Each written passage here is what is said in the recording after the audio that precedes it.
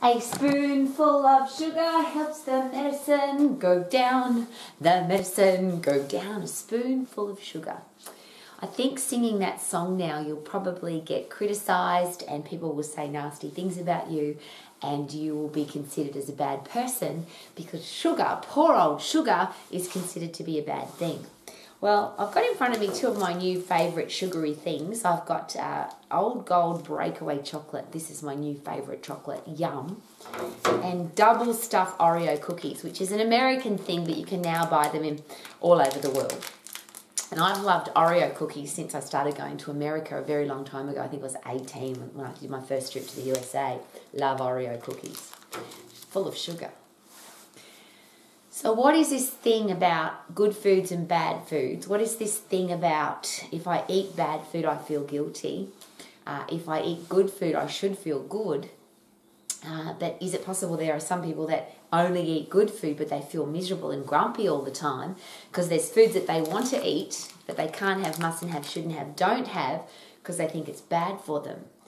And I'm in a very interesting situation every day because as an exercise professional, as the owner of a international fitness business college, uh, and I do personal coaching every day with my students, and I have been a personal exercise coach all of my life. I have worked with and, and experienced people have a really bad relationship with bad food, or they have a really bad relationship with themselves and it plays out in their food. So they feel guilty about eating food, or they really want to eat what they consider to be bad food, but they don't because they're scared of the food. So consequently, their headspace is always, I wish I could have, I can't have, I mustn't have, I shouldn't have. If I have, then I end up feeling guilty. And I've worked with people at the extreme end of that guilt scale where they've eaten a chocolate biscuit or they've had a piece of chocolate and then they've gone out and fanatically exercised for hours and hours and hours to try and burn off those calories. Or they've burnt themselves or cut themselves or uh, just mentally abused themselves for hours and hours because they ate something that they thought was bad. I'm coming at you from a very personal place because I really don't want anybody to live like that. Uh, when you have experienced what I have, where you've gone to people's houses and they've literally got a knife out of the cupboard, cupboard and cut themselves because they ate a piece of chocolate or they poured boiling water on themselves because they went out for dinner and ate something that they felt that they shouldn't have but they felt that they were forced into it or they've been vomiting for hours trying to get rid of the food that they ate that they feel bad about. And I'm sharing this with you on, in a dramatic way for a reason. These are real people with real life experience because they have a really bad relationship with food, with what they consider to be bad food.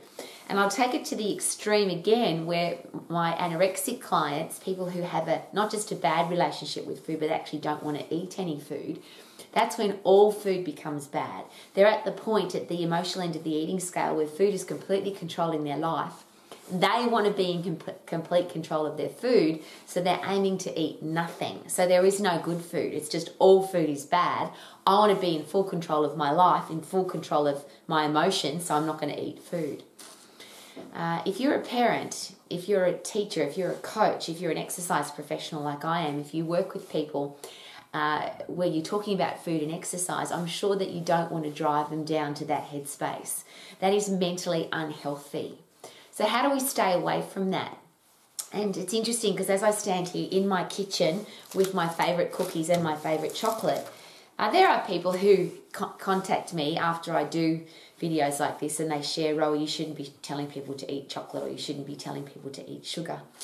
And I always break it down to something really simple. And I always say, when people, um, and I'll use the word attack because people do attack me quite regularly for wanting people to have a mental healthy head. Uh, I don't get into those conversations and I certainly don't argue with people that have such uh, strong convictions about what's a good and a bad food. But is it possible? And these are some of the questions that I always ask myself. And if somebody wants help with their food, these are the questions that I ask them. And before I go there, uh, I'm an exercise professional and I very rarely talk about food because I don't want to get involved in the, the controversial uh, contradicting, ugly headspace that a lot of people get into when they talk about food. Uh, I'm a passionate believer that if I've got a healthy, fit, strong body, and I'll ask you the question if your body is physically fit and physically strong, and your brain is physically fit and physically strong, so you've got happy chemicals in your brain constantly dopamine, reward drug, serotonin, satisfaction drug, neurotransmitter.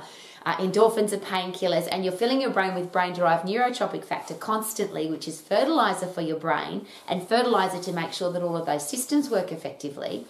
Is it possible that you'll think more clearly about food and you'll better or you'll make better decisions about food or you're more likely to make better decisions about food?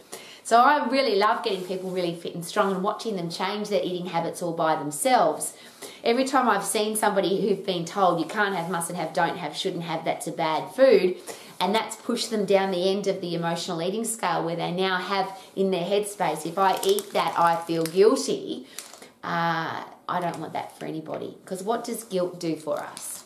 Uh, the the health experts in the world will tell us that stress is a very serious challenge in our body if we don't disperse it. If you feel guilty, if you feel stressed about food that you eat, if you feel emotionally damaged because you ate a food that you shouldn't have, or there's a food that you want to eat and you don't, uh, so you have you seen that with some people? They're actually angry. I think the word's hangry because they want to have chocolate or they want to have biscuits or they want to have a lolly or they want to have an ice cream, but they can't have it and they get really hangry. So they're hungry and angry at the same time. Again, do you want that for anybody in your life and particularly for our kids? I would like our kids to grow up in a world where they don't even know that there's such a thing as anorexia, bulimia, exercise bulimia, any kind of obesity, morbid obesity, where food is controlling our life and it either wins or, or we win over our food. I want our kids to love their food. I want them to enjoy everything that they eat.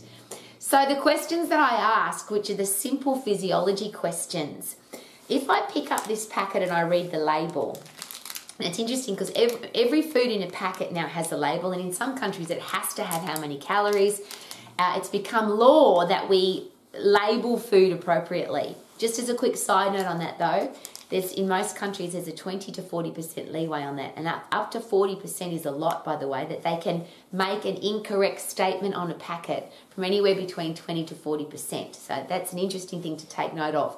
So the reverse of that would be Rowie what what should I eat? And my answer is simply well eat less food with labels. So then you're getting less processed food of course. But but what about your healthy head? And when you break this down, the simple questions that I ask what is an Oreo cookie made out of? What is chocolate made out of? And both of them are made out of exactly the same thing. They're both made of carbon, hydrogen, oxygen, and nitrogen because they're not vegan, vegetarian chocolate. They've got protein in them, which is nitrogen. Because protein is made of carbon, hydrogen, oxygen, and nitrogen. Carbohydrate is made of carbon, hydrogen, and oxygen.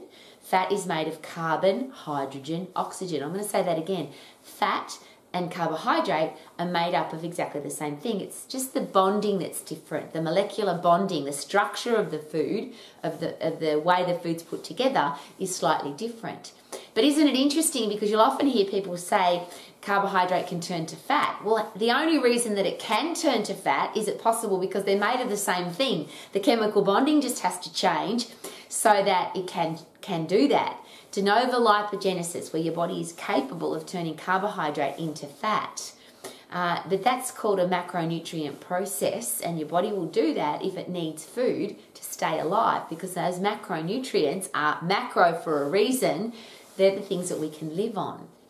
So, when you break it down to the simpleness of that, when people say to me, I shouldn't eat sugar, I always ask, what's sugar made out of? Carbon, hydrogen, oxygen. Okay.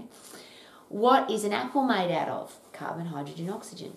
What is chocolate made out of? Carbon, hydrogen, oxygen, nitrogen. If you add protein in there, you have to add nitrogen.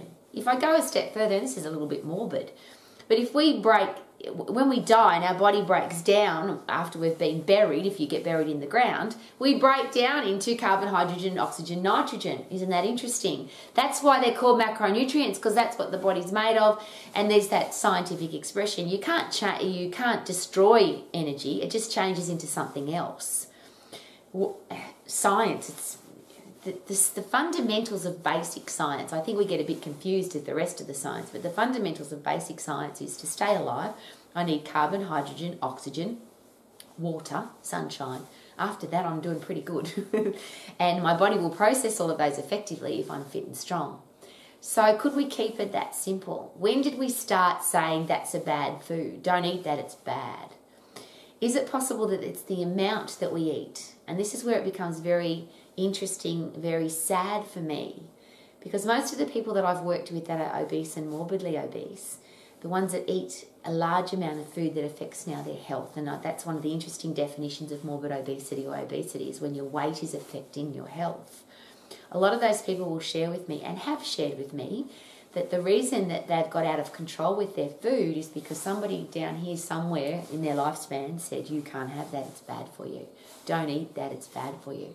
So then they ate it and felt bad. And here's an interesting question Have you ever been in that situation where you've eaten something, felt bad that you ate it, and then you ate even more? Isn't that interesting? I don't want to do that to anybody. I'm going to open this packet of biscuits and really enjoy it. I don't need to eat the whole packet because it's not going anywhere. I always have Oreos in my fridge. I always have chocolate in my fridge for a reason. So that I, I never have a starvation mentality. I never have a scarcity mentality. So that if there is chocolate, I have to eat the whole packet. Or if there is biscuits, I have to eat the whole, whole packet. I don't have to because there's always more. I don't have to starve myself and then binge, which is that headspace that I find really sad again. I can't have it, mustn't have it, don't have it, shouldn't have it, I'm not going to have it, it's bad for me, and then I end up eating the whole packet and binge eat. We do that with alcohol, we do it with takeaway food, we do it with biscuits. It's and when I say we, I don't. I don't have to. Because I only have foods in my house that I love. I only eat the food that I love. I only eat when I'm hungry. I stop eating when I'm full. And who cares? That's just me. But imagine living a lifespan or a, a, a whole life, lifespan like that Eat when you're hungry, stop eating when you're full, enjoy everything that you eat, don't eat the things that you don't eat, don't like to eat. Could life be more enjoyable? Could your mental health spa- headspace be different? Do we create a lot of mental health challenges by trying to keep people healthy? Don't eat sugar, it's bad for you. So then they eat it and feel guilty, and we end up screwing up their headspace. Or they don't eat it because we told them not to, and then they get angry and disappointed and frustrated because they can't have it, and then they binge eat it a certain way down the track. It's a bit of a joke at our house, but this is really not funny.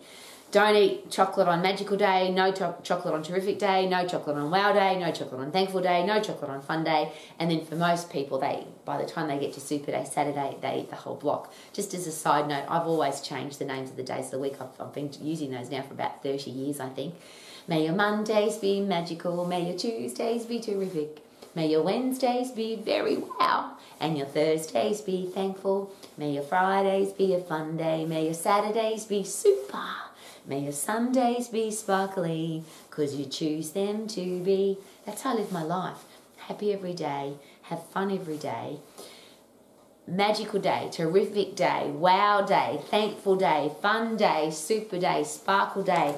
Love the food that you eat. Don't eat the foods that you don't eat, don't like to eat. Exercise because you want to be healthy, fit, and strong, not because you have to, not because you need to lose weight, not because you need to burn calories, not because somebody told you you have to exercise, but because you bloody want to, because you want to be healthy, fit, and strong for the rest of your life. That's what I wish for everybody, and that's why I'm here every day.